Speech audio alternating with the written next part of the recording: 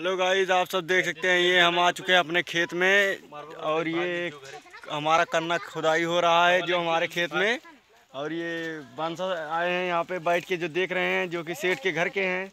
और ये स्वर्गवासी सेठ जी और खड़े होइए सर।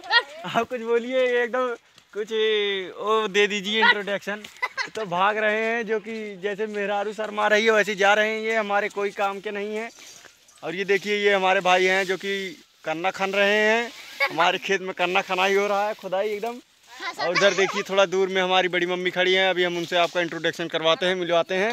और ये देखिए ये हमारी भाई की बेटी है जो कि कन्ना ले जा रही है। और ये देखिए ये हमारी बहन जा रही है छोटी लपलप दीदी के नाम से प्रसिद्ध है। और ये जा वे लपलप दीदी इधर आइए। आप मिल लीजिए हमारे फ़ैन से।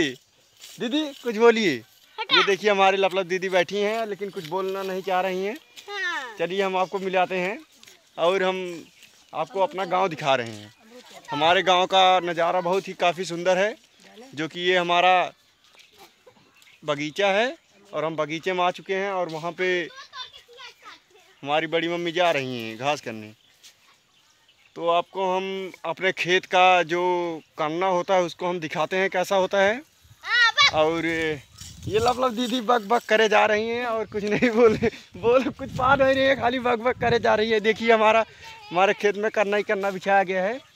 आप सब देख सकते हैं, ये करने की खेती हो हो रही है हमारे गाँव में। और ये सकते, देख सकते हैं, ये करना है, ये काफ़ी ज़्यादा मोटा और प्लस फटा हुआ है।